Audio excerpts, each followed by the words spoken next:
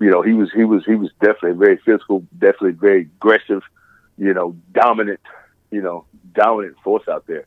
I love playing with Boselli. You know, he's one of those guys that, um, you know, you you you you. He's one of those guys that you feel safe with, right? I tell guys all the time. I like hanging around my old linemen because I just feel safe with my old line.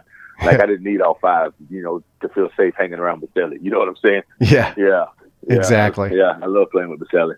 And in that game, like I mentioned, the the '96 wildcard game against the Buffalo Bills. I mean, he he dominated Bruce Smith. I mean, that was an incredible performance.